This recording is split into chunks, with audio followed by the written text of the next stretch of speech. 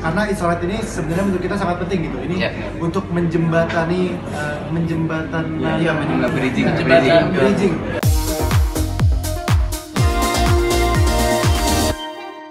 Hidup tak akan pernah mudah Tapi tak bisa kita pasrah Jangan ada kata menyerah Alright Jadi untuk video klip eh, terbaru kita kali ini pasti konsepnya tuh baru banget dan beda banget sama video kita sebelumnya. Di situ kita masuk pada banyak profesi. Jadi di sini aku ada eh, profesi sebagai barista, ada yang jadi dancer, ada yang jadi pekerja kantor, ada yang jadi fotografer, ada yang jadi atlet, ada yang jadi ngamen, ada yang jadi driver. Jadi di sini kita eh, merangkap semua profesi-profesi yang biasa ada di luar sana untuk dijadikan apa sebagai Contoh. contoh, sebagai contoh bahwa kalau lagi eh, setiap profesi itu ada mereka juga ada style masing-masing juga. Berapa lama pembuatan? Lima hari. Lokasi hari. Untuk pembuatan video klipnya kita makan waktu lima hari ya dan uh, lokasinya wah banyak banget Banyak karena kita benar-benar nyocokin sama pekerjaannya ya. Ya. Jadi selama lima hari itu nggak semuanya barengan. Jadi memang ada yang uh, hari pertama cuma A atau B, hari-hari kedua gitu. Jadi bisa bisa ada yang di di gor gitu ya. Ya, di gor, Kita kan pasti di gor. gor gitu. Terus ada yang di kafe, ada yang di kantor gitu-gitu sih. Jadi mencocokkan dengan profesinya. Tapi pada akhirnya nanti pas kalian ketemu uh, semuanya ngumpul di hari terakhir. Di hari terakhir. Ya, hari Itu beda banget ya. Iya, di klimaks ya. Memang ceritanya kita punya profesi yang berbeda-beda, tapi kita teman gitu. Jadi kita eh, ya ketika kita lagi eh, senang-senang gitu pasti kita bareng-bareng. Kendala dalam proses pembuatan tersebut. Apa ya kalau kalau kendala sebenarnya nggak terlalu banyak karena kita syutingnya satu orang tuh satu hari gitu ada juga yang satu hari dua orang. Jadi kalau susah sebenarnya mungkin yang harus bangun pagi kali ya. Iya. Jadi kayak besok pagi gitu. kalau kesusahan buat syuting nggak nggak terlalu banyak sih.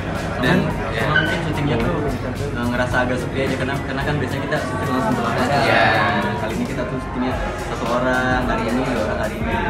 Biasanya kan rame terus kita energinya kayak Iya. biasanya rame tapi sekarang syutingnya sendiri-sendiri kayak aduh lemes gitu. Tapi ya nggak apa-apa itu. Iya. Kak Ivan juga sangat seru banget dan apa ngarahnya itu dengan baik gitu jadi eh, semuanya tuh bisa tertata dan sesuai dengan jadwal Nah ini kerjasama pertama bareng apa seperti apa?